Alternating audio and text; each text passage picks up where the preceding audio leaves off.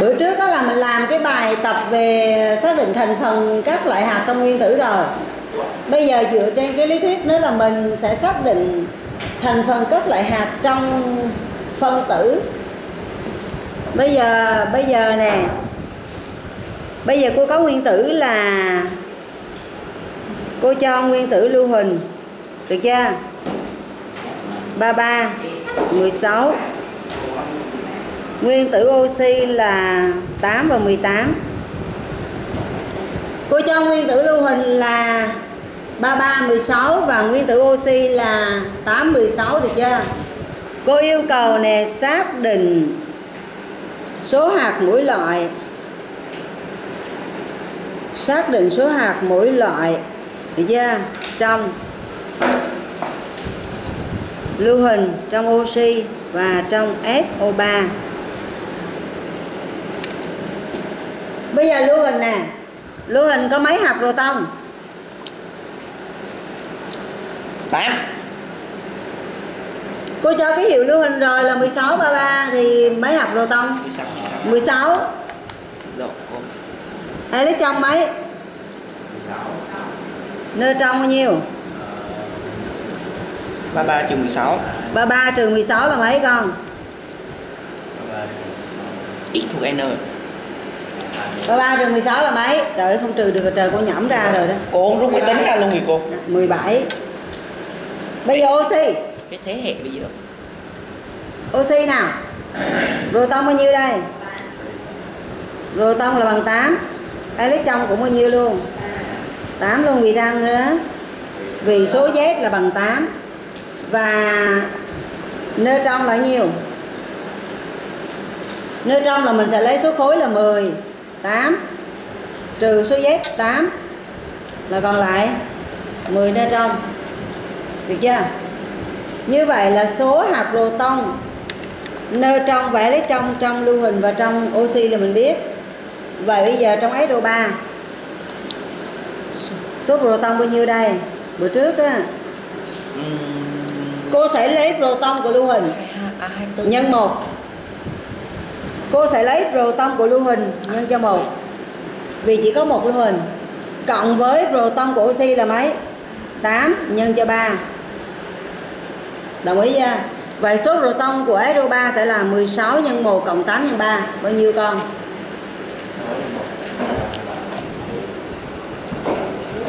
À tương tự, electron cũng sẽ bằng bao nhiêu luôn? 40 và neutron là bao nhiêu con? Neutron bao nhiêu? Nói nghe cô sẽ lấy neutron của lưu huỳnh là mấy? 17 nhân 1 cộng neutron của oxy là 10 nhân cho 3 bằng mấy? 47 chính xác. Được chưa?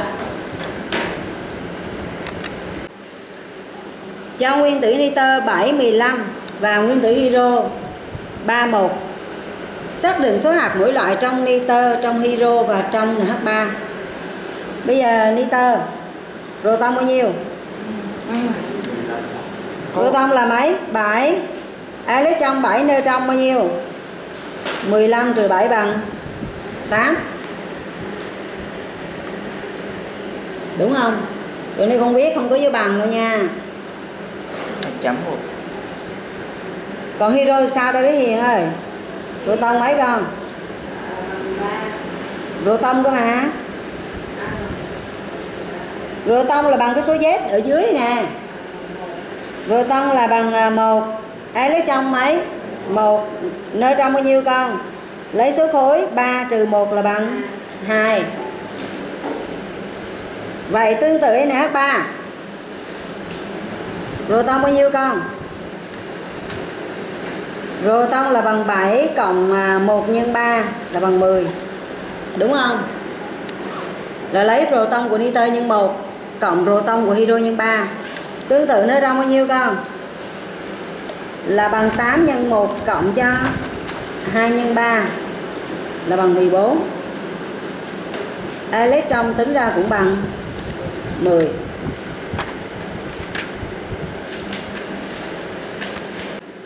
Bây giờ cô cho. Cho hydro 21 cho oxy 178 cho lưu hình 33 cho lưu hình 35 đi. 35 16 cho nitơ 15 7 cô đọc lại này cô cho hydro là 21 oxy là 17 8 21 là số lưu 2. huỳnh số 2 ở trên con số khối là ở trên. Số khối bây giờ lớn hơn số z mà. Oxy là 8 17 lưu huỳnh là 16 35 và nitơ là 7 15 được chưa? Và cô yêu cầu là xác định số hạt mỗi loại. Xác định số hạt mỗi loại. Trong nè HNO3 H2SO4 muốn xác định số hạt mỗi loại à, thì điều đầu tiên là mình xác định số hạt mỗi loại trong mỗi nguyên tử cho nó dễ. Để khi mình nhìn, mình tính cho nó nhanh. Bây giờ hydro. P bằng ai bằng mấy? Bằng một. Đúng không? Neutron bao nhiêu? 2 trừ 1 bằng bằng 1 đúng chưa? Còn oxy? Oxy B bằng A bằng mấy con? Bé Hiền? Bằng 8 N bằng mấy con? 17 trừ 8 là bằng 9 Đúng không? Bây giờ lưu huỳnh. B bằng A bằng mấy? 16 Còn N bằng mấy? 35 trừ 16 là bằng 19 Đồng ý chưa? Và cuối cùng là nitơ. B bằng A bằng mấy? Bằng 7 N bằng nhiêu? 8 Đúng không? Long Sao con chưa ghi? 8 Bây giờ sao H nổ 3 H nổ 3 nè Long đọc cho cô nè H nổ 3 B Bao nhiêu con? B Đọc có nghe Long Thì bao nhiêu đọc số đọc số Có để đâu đọc. 1 Đọc đấy. 9 Tao mới ghi mà. Tao biết là Cái thằng là H nổ 3 thì B bằng bao nhiêu đây con? 1 cộng 7 Cộng 8 nhân 3 đúng rồi Bằng bao nhiêu con? 3 32 Đúng rồi Còn N bằng bao nhiêu đây? N là bằng bao nhiêu? 6 6 6 Đọc từng con số một cô không yêu cầu kết quả Nơ trong của hydro là mấy? 1 một Nơ trong của N là bao nhiêu? 8 8 Nơ trong của oxy là mấy của xây là 9 9 nhân 3 Vậy tính bao nhiêu? 27 cộng với 9 nữa 36 Được chưa? Nhớ nghe nguyên tử nào mà chỉ có một thì coi như hệ số mình không cần nhân Còn có hệ số 2, 3, 4 là mình nhân vào là xong thôi Tương tự H2, 4 rồi nè P bằng nhiêu? P bằng 1 nhân 2 cộng 6 Cộng 16 cộng 8 8 nhân 4 Tính ra bao nhiêu? 50 Chính xác Và P bằng E luôn có N bao nhiêu? Ờ 1 nhân 2 Cộng Mấy? N trong của luôn mấy? 19 Cộng mấy nữa? 9 nhân À 10 9 nhân à, 4 Bằng mấy? 4 Ê, 54 Ủa đó, ta tính nhận ta, ta tính nhận đó Nè tụi em tính bị sai nha bao nhiêu? 7 7 9 nhân 4 là 36 nè. Cộng 19 nữa nè. Tính nhẩm sai ta có máy tính một Rồi, xong chưa? Rồi, mình sang ờ, dạng bài khác ha. Rồi, một phân tử, một phân tử XO3 có 40 hạt proton. 16 Câu A là xác định tên nguyên tử X. Câu B là gọi tên. XO3 Câu C là viết phương trình. Phản ứng điều chế. XO3 cho cô mượn sách giáo khoa. Bây giờ theo nguyên tắc á, là mình à, biết được là gì? Nếu mà mình biết tên nguyên tố thì mình sẽ biết số Z của nguyên tố đó ngược lại biết số Z thì sẽ biết được tên của nguyên tố. Thì dựa vào cái bảng hệ thống tuần hoàn ở trang 37 sách giáo khoa nè, thì cô sẽ xác định được nguyên tố oxy đây nè. Đây, nguyên tố oxy là ở ô số 8 thấy chưa? Thấy nguyên tố oxy ở ô số 8 chưa? Như vậy, cô sẽ xác định được oxy có Z bằng 8 tức là một nguyên tử oxy sẽ có 8 hạt proton vậy bây giờ cô có một phân tử XO3 này có 40 hạt proton có nghĩa là sao? Có nghĩa là sao con? Có nghĩa là px cộng cho 8 nhân 3 thì bằng 40 đúng không? Vì oxy là có 8 hạt proton mà có 30 tử oxy của nhân 3 lên, là bằng 40 vậy giá ra biết bằng mấy? 16 biết bằng 16 coi như là số z của x cũng là 10 16 mình cũng tra bảng hệ thống tuần hoàn trang 37 số chú khoa. Là mình sẽ xác định được là nguyên tố gì đây? Lưu huỳnh như vậy, nguyên tố x sẽ là gì? X là nguyên tố lưu huỳnh viết cả tên và ký hiệu ra nha x là nguyên tố lưu hình được chưa rồi bây giờ cô bé yêu cầu làm gì đây gọi tên xo3 như vậy là xo3 sẽ là SO3 đúng không? SO3 có tên gọi là gì con hề? Đúng rồi, lưu hình trioxit. Lưu hình trioxit. Cái này là mình làm và mình vừa ôn lại lớp 9 á. Câu C, viết phương trình và ứng điều chế đô 3 Làm ra điều chế đô 3 con. Đúng rồi, đô 2 cộng oxy. Xúc tác V25 450 độ C. Bây giờ điều chế SO3 Lấy SO2 Cộng với oxy Xúc tác V2O5 Cái này nằm trong cái bài điều chế H24 à Cho ra SO3 cô ơi. Ừ. Em dùng S cộng O2 cho là S2 là S2 cộng O2 Không họ bắt viết một phương trình thôi mà con. Ừ. Con viết ra thành hai giai đoạn rồi. Bình thường cái hai đó là là là trong cái quá trình điều chế H24 có ba giai đoạn này một phân tử RO2 có 64 hạt băng điện câu A. Một phân tử RO2 có 64 hạt mang điện.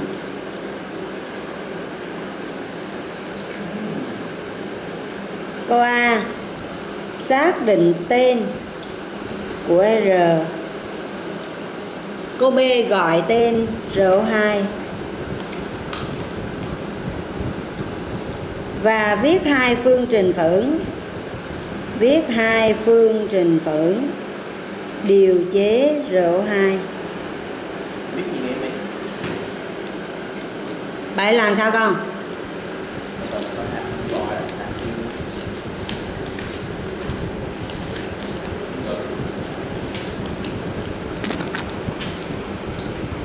Bạn làm sao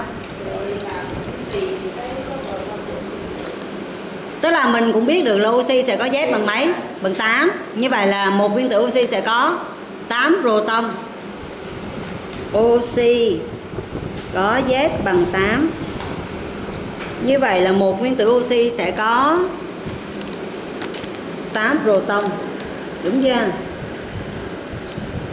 Như vậy bây giờ để cho này, một phân tử RO2 có 64 hạt băng điện.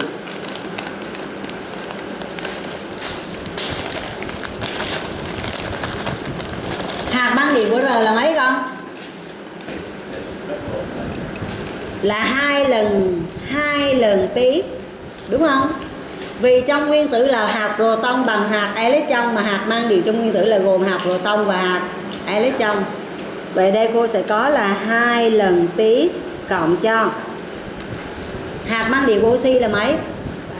À, lấy 8 nhân 2 đúng không rồi cô lại có hai oxy nữa cô phải nhân cho hai hiểu không à là 32 đúng. Thì tất cả sẽ bằng mấy? 64 trừ ba hai là r r. Vậy từ đó cô tính được là px bằng mấy con? 16 luôn 16 đúng rồi. 16 là nguyên tử gì? X là nguyên tử gì? Biết là lưu hình. Đúng x là lưu huỳnh x là lưu luôn ar là lưu huỳnh cô lộ. Trời ơi, nãy giờ br chứ. R là lưu huỳnh, ký hiệu lép Vẽ vậy SO2 gọi tên là gì đây? Lưu huỳnh dioxide chính xác luôn.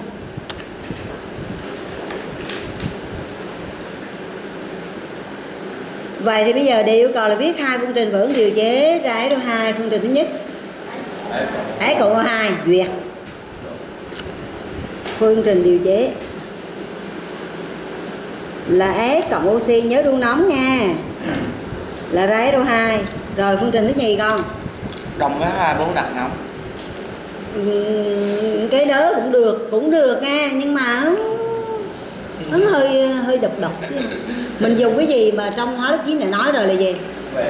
Dùng muối sunfit tác dụng với axit là cô sẽ lấy Na2SO3 cộng với dung dịch H2SO4 loãng, sẽ cho ra Na2SO4 khí SO2 và nước. Đồng ý chưa?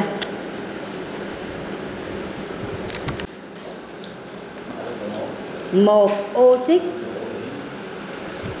có công thức cái 2O trong đó tổng số hạt của phân tử là 92 trong đó tổng số hạt của phân tử là 92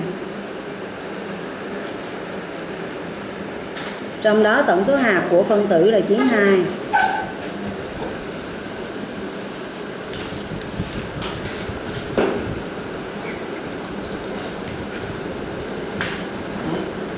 Vậy số hạt mang điện nhiều hơn số hạt không mang điện là 28 hạt. Số hạt mang điện nhiều hơn số hạt không mang điện.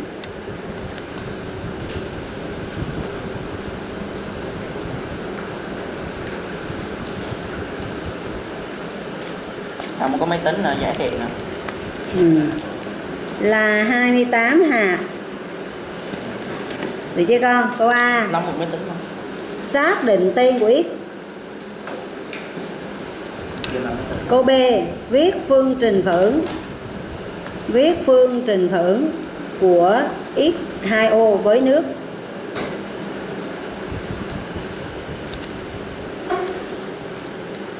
Viết phương trình phưởng của X2O với nước. a hai một không Ừ ờ ừ. Bây giờ nè, bây giờ á, lưu ý nè, các em biết nguyên tử oxy rồi đúng không? Cô lưu ý là khi con biết được tên nguyên tử, con chỉ biết được nguyên tử đó có số z là bao nhiêu thôi.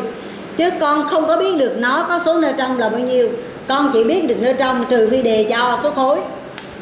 Ở đây đề không hề cho số khối của oxy. Cho nên mình sẽ không biết được oxy có neutron là bao nhiêu, được chưa? Nhưng mà cô sẽ biết là oxy có giấy bằng mấy đó, rồi cô để đó nè. Bây giờ này, cái công việc mà gọi gọi gọi là tụi con tự gọi được chưa tổng số hạt của phân tử là 92 vậy tổng số hạt thì theo nguyên tắc thôi. Tổng số hạt của x là bao nhiêu? Để cho là tổng số hạt của x2o là 92 vậy tổng số hạt của x là bao nhiêu? Tổng số hạt của x là nhiêu con? Tổng số hạt trong phân tử. Trong của x thôi á của nguyên tử x thôi á. Không ý là cái con đề là ờ, tổng số hạt trong phân tử x2o là có 92 b cộng n rồi tổng số hạt bây giờ cô dì hỏi một câu là tổng số hạt của x là bao nhiêu? Không công thức không p cộng n cộng e đúng rồi. Mà b là có bằng e không? Có. Vậy ghi là 2 px cộng với nx được chưa đây là tổng số hạt của gì? Của x mà cô có mấy nguyên tử x có hai, cho nên cô phải nhân nhân hai nữa. Cô nói là tổng số hạt của x sẽ là px cộng aX cộng nx mà px bằng aX cho nên tổng số hạt của x sẽ là 2 px cộng nx mà vì có hai nguyên tử trong phân tử, nên cô phải nhân 2 rồi tiếp tục tổng số hạt của oxy là nhiêu? Là 2PO cộng NO 2PO cộng NO được chưa? Tất cả sẽ bằng 92 đồng ý chưa? Cô sẽ gom về P đi theo B và N đi theo N nha. Là 4PX cộng với 2PO cộng 2NX cộng NO là bằng 92 cô gom N đi theo N và B đi theo B à? Thì chơi con?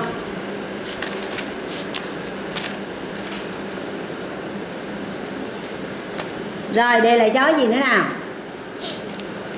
Là đề cho là trong x2o nè. Là số hạt mang điện. Số hạt mang điện sao con? Nhiều hơn nhiều hơn. Số hạt không mang điện là mấy hạt? Là 28 hạt. Vậy cô gói gì đây? Số hạt mang điện của x là gì? Là 2px tức là px cộng x, đúng không? Tức là thành 2px vậy là 2px cô phải nhân 2 đằng trước nữa vì có 2 nguyên tử x cộng cho, số hạt băng điện của oxy là nhiêu? Là 2PO yeah. Dạ. như vậy đây là tổng số hạt băng điện này nè. Nhiều hơn là trừ đi. Số hạt không mang điện của x là nhiêu? Là nx được chưa? Cô phải nhân 2 vì có 2 nguyên tử x. Số hạt không mang điện của oxy sẽ là NO cô không cần nhân 2 vì oxy, chỉ có một. Vậy cô có biểu thức là 2 nhân 2px cộng 2 lần PO trừ đi mở ngoặc 2 lần x cộng NO thì bằng mấy? Bằng 28. cô ra cô Vậy cô viết lại là 4px cộng 2 lần PO trừ cho 2 NX cộng với NO tất cả bằng 28. Các con thấy cô có hai phương trình. Phương trình đầu tiên là 4px cộng 2PO cộng 2 x cộng NO là bằng 92. Phương trình thứ nhì là 4px cộng 2 lần PO trừ 2 lần x cộng NO là bằng 28. Được chưa? Cho cô mượn cái bút bút mực đỏ cái con. Rồi như vậy nè, cô sẽ coi đề chỉ có hai cho hai phương trình thôi. Như vậy cô sẽ coi nè, 4px cộng 2 PO là một ẩn số. 4px cộng 2 lần PO là một ẩn số 2 NX cộng với NO là cô coi thành một ẩn số như vậy có phải là cô sẽ có phương trình là A cộng B bằng 92 và A trừ B bằng 28 không? A cộng B bằng 92 và A trừ B bằng 28 đồng ý chưa? đúng không? 2A trừ B Đúng, cô cô đặt cả 4 B cộng 2 BO luôn rồi dạy một hệ toán ừ bấm máy tính giải hệ rồi như vậy là cô sẽ bấm phương trình là A cộng B bằng 92 và A trừ B bằng 28 Tức là hệ số là 1, 1, 92, 1 trừ 1, 28 Vậy cô sẽ giải ra kết quả là gì đây? 4 px cộng 2 lần PO là bao nhiêu? 60 còn 2 lần x cộng với NO là bao nhiêu? 32 Mà mình có PO là bao nhiêu nhỉ? 8 Vậy thay qua đây cô tính được px là mấy đây? PO là bằng 8 BO Oxy là có Z bằng 8 Tức là số proton của nó bằng 8 Vậy cô sẽ thế vô là 60 Trừ cho 2 nhân 16 Vậy thì biết tính ra bằng mấy? À, là từ từ. 44 chia 4 là bằng 11 Ờ 11 Chỉ cần mình biết được số proton là mình sẽ biết được tên của nguyên tử không? Số Z bằng 11 Vậy X là nguyên tử gì đó? X là natri Ký hiệu bằng Na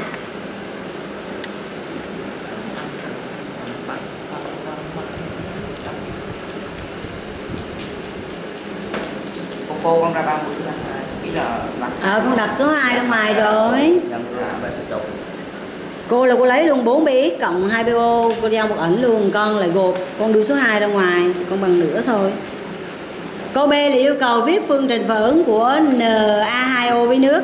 Cô ta đang cô cô cô. Na2O cộng với nước ra gì? Đúng rồi. Tạo thành dung dịch natri hydroxit làm Quỳ tím hóa đỏ làm phenolphthalein hóa hồng ô cô Bây giờ nè, cô cũng bỏ cái tay để cô đọc đề nè. Tổng số hạt mang điện trong AB3 là 80. Số hạt mang điện trong hạt nhân A nhiều hơn số hạt mang điện trong hạt nhân B là 8 hạt. Câu A là xác định tên A và B. Câu B là viết phương trình ứng của AB3 với nước. Nè, con lưu ý nè, hạt mang điện trong hạt nhân là hạt nào? Hạt mang điện trong hạt nhân, hạt P thôi. Nhớ này hạt mang điện trong hạt nhân là hạt P thôi chứ không có hạt N đâu nha. Đề nói là tổng số hạt mang điện trong AB3 là 80. 2 p cộng 2 Bây giờ là tổng số hạt nè, tổng cái câu thứ nhất là tổng số hạt mang điện trong AB3. AB3 là 80. Bây giờ tổng số hạt băng điện trong A là bao nhiêu Long ơi? Tổng số hạt băng điện trong A là bao nhiêu?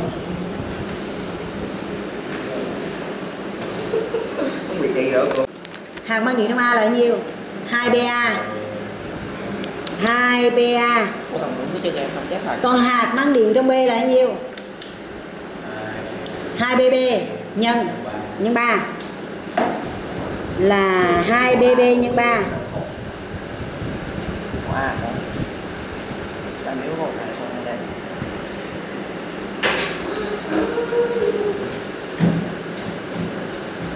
mi mình đục của sáng Lúc đó là sẽ bằng mấy?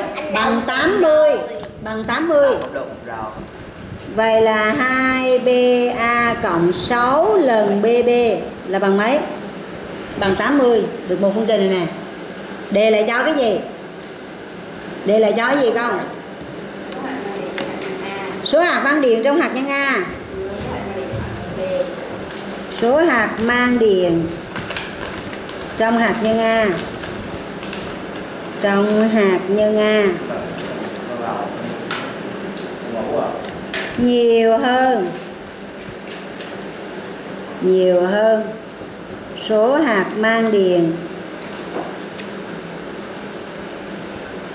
trong hạt nhân B là 8 hạt, đúng không? Số hạt mang điện trong hạt nhân A là PA còn số hạt mang điện trong hạt nhân B là nhiêu? BB. Vậy cô có BA trừ cho BP là bằng bằng 8. Thấy đồ bạn của Gì con? Nhớ là cái câu mà số hạt mang điện trong hạt nhân A nhiều hơn số hạt mang điện trong hạt nhân B là nó tách hoàn toàn với hợp chất AB3. Hắn không có liên quan gì trong cái hợp chất AB3 hết cho nên cái số hạt mang điện trong hạt nhân B con không có nhân 3 lên. nhớ nghe có rất là nhiều bạn nhân 3 và dẫn đến là giải phương trình nó sai bởi vì rằng để cho là tổng số hạt mang điện trong AB3 là 80 cái chấm cái chấm cái nghĩa là ý xong nó tách ý trước rồi. Số hạt mang điện trong hạt nhân A nhiều hơn số hạt mang điện trong hạt nhân B là chỉ đơn thuần là A và B thôi chứ không có nằm trong hợp chất AB3 nữa.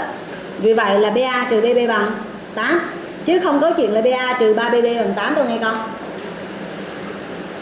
Vậy từ đây cô sẽ giải được BA bằng mấy và BB bằng mấy nào? Đang 26 giải được con? Hình như 16 với lại 3 vậy cô giải ra là BA bằng mấy? 16 còn BB là bằng mấy? Vậy thì A là nguyên tố nào? A là lưu huỳnh ký hiệu là F. Còn B là gì? Oxy ký hiệu là gì? O. Cô B thì yêu cầu gì đây con?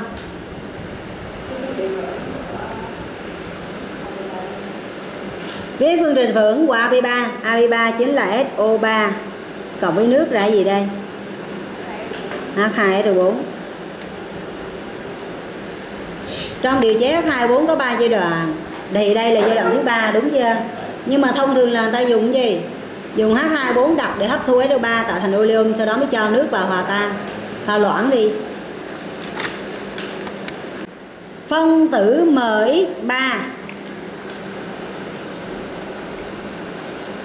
cô có phân tử MX3 có tổng hạt, có tổng số hạt là 196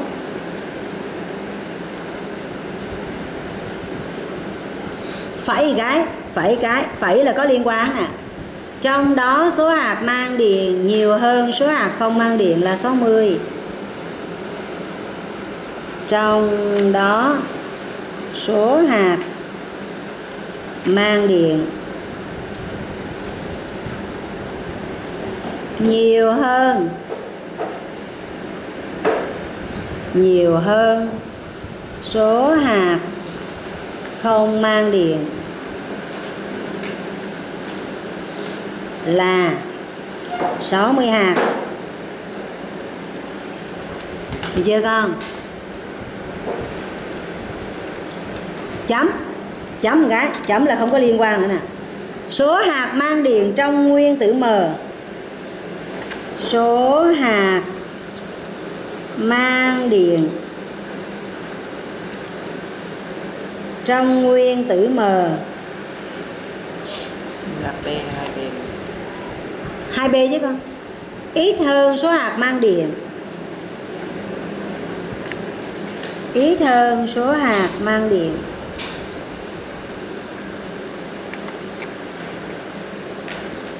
trong nguyên tử x là 8 hạt à. trong nguyên tử x là 8 hạt.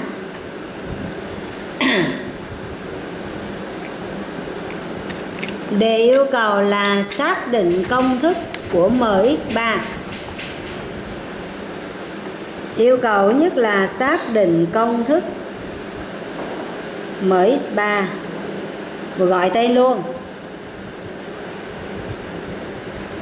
Câu B là viết phương trình phưởng Viết phương trình phưởng của MX3 với dung dịch NaOH dung dịch NH3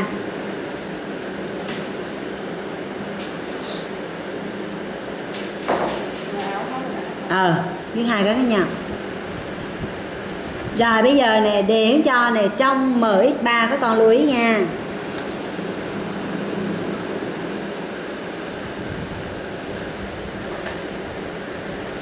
Tổng số hạt là là 196 Hiển cho là trong MX2 tổng số hạt là mấy? 196 Rồi vậy là cô có gì đây Long à? nè? 2BM cộng NM Được chưa? Rồi lại cộng cho 3 nhân cho 2 bis cộng NX là bằng mấy con? 196 được chưa hà? Nhớ là có 3 x là cô phải nhân 3 lấy nha. Rồi cô dồn qua này, cô dồn qua này. 2bm cộng 6 lần px là cô cho đi với nhau. Rồi cộng cho nm cộng cho 3nx là cô cho đi với nhau. Rồi đề lại cho cái gì nữa đây? Đề lại cho là trong mx2 số hạt mang điện nhiều hơn số hạt không mang điện là 60 trong mx3 chứ. Số hạt mang điện. Số hạt mang điện nhiều hơn. Nhiều hơn số hạt không mang điện. Là 60 để cho này trong 13 là số hạt mang điện, nhiều hơn số hạt không mang điện là 60 vậy cô có gì đây? Số hạt mang điện của M là mấy con? 2BM số hạt mang điện quyết là 2BX nhân cho 3 lên. Được chưa? Đúng không không rồi trừ trừ đi trừ trừ. Cô cô. Số hạt không mang điện. Ơi sao con? Mang điện trong M là 2P mở ừ. Còn X là 2P ừ ừ. Trong MX3 này số hạt mang điện nhiều hơn số hạt không mang điện là 60 là 2BM cộng 3 nhân 2 biết trừ gì con nè trừ NM đúng không cộng 3 nhân NX đóng ngoặc là bằng 60 rồi con thấy hai phương trình đây chưa? Hai phương trình đây chưa? Con thấy hai phương trình chưa? Cô M X hơn? Cô ơi. Thấy hai phương trình chưa? M đưa đến đây đưa đến đây con. Đưa đến đây ngồi. M X hơn X hả? M X hơn X nữa là 2PX rồi cô Trừ cho 2PM bằng 8 ừ ừ ừ. Đúng không? Thấy các con thấy hai phương trình chưa? Phương trình thứ hai là 2BM cộng 6BX 2 bm cộng 6 bx trừ BNM trừ mở ngoặc ra nm cộng 3 lần x đóng ngoặc bằng 60 vậy là con coi con giống như cái bài trên là 2 bm cộng 6 bx là cô coi cho nó thành một ẩn số và nm cộng 3 lần x là cô coi nó là một ẩn số. Rồi cô bấm hiện trình cô giải được không?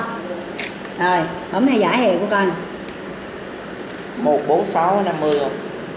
vậy từ đây cô suy ra là 2 bm cộng 6 bx là mấy? 146 50 146 à? Ủa? Rồi em là 128 68 ừ cô thấy 128 đúng á. Ơ còn nm cộng 3 lần nữa là mấy con? Bằng 68 số 8 rồi. Cái số này hợp lý á. Cái số 146 được không? Chuẩn lắm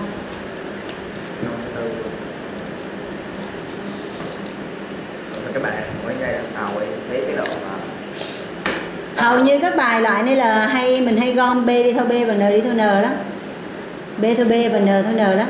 Có một số bài thì không gom như vậy nhưng mà có hầu như là đều gom vậy.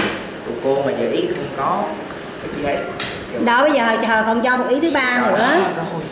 Rồi là ý thứ ba là nó không có liên quan gì đến phân tử mx3 nữa đâu nghe. Ý thứ ba là không hề liên quan vì em thấy có dấu chấm không? Dấu chấm. Là không có nhân 3 nhân 2 gì vô đây hết á. Ý thứ ba là gì? Số hạt nguyên tử Số hạt mang điện trong m đề cho này số hạt mang điện trong m ALCL3 Gì? đề cho là số hạt mang điện trong hạt mang điện trong nguyên tử m. Trong nguyên tử m nè. Là ít hơn. Ít hơn. Số hạt mang điện trong nguyên tử x trong nguyên tử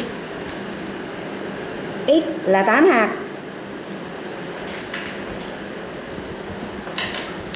Vậy nghĩa là sao con? Là hai bx trừ p 2 bx trừ 2 bm bằng 8 đúng rồi. 2 bx trừ 2 bm bằng 8 đúng rồi đúng rồi không đọc răng nữa cô. Nhôm cả khi nãy cô cô cô đã giải ra là 2 bm khi nãy là mình có gì? 2 bm cộng gì? Cộng cho 6 bx là bằng mấy? 128 khi nãy là mình giải được chỗ đó nè. Vậy bây giờ mình có thêm 2 bx trừ 2 bm bằng 8 nữa. Vậy cô bấm phương trình cô giải được bx với bm không? Mấy? 13 17 AL vậy suy ra b b b bm mấy con? 13 13 bx bằng mấy? 17 17 vậy m là gì? Mơ là al nhôm. Nhớ là mình tra cái bảng hệ thống nguồn hàng trang 37 nha. Còn ai có bảng hệ thống nguồn hàng thì tự tra luôn nha. Khỏi giờ sách. Đây là cho thêm không? Còn x là cl clo. Vậy al cl3 tên gọi là gì? Chị nhôm CL nhôm clo đúng rồi, không còn nhớ thì quấn không nhớ tên gì hết trơn. AlCl3 là nhôm clorua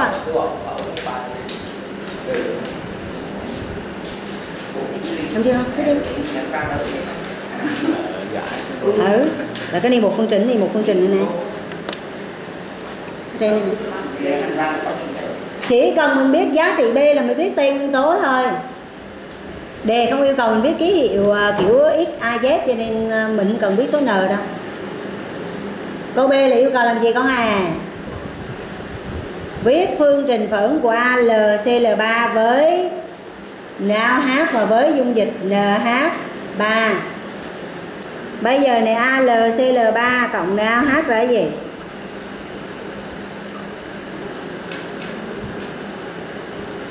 AlCl3 cộng NaOH cho ra AlOH tất cả 3 lần. Đây là phản ứng trao đổi giữa muối và bazơ tạo thành muối mới và bazơ mới. Trong sản phẩm có ít nhất một chất ký tủa.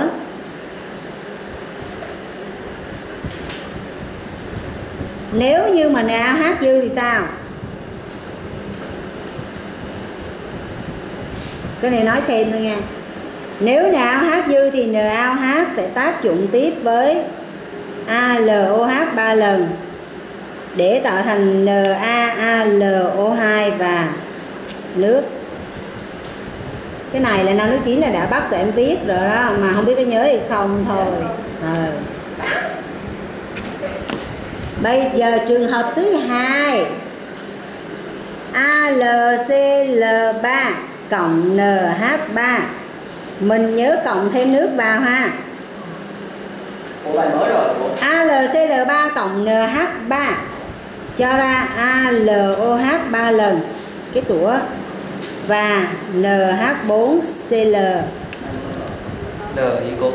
NH4Cl lưu ý NH3 mà có dư đi chăng nữa thì nó cũng không hòa tan được AlOH 3 lần